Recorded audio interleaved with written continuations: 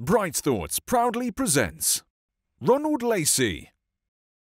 But the special profession I drifted to now is minding a hole in the road. As a rule, it's a nice, quiet, comfortable job, but there's times when I've hated the work. For instance, I once had to go Christmas Day on a job that I tried hard to shirk.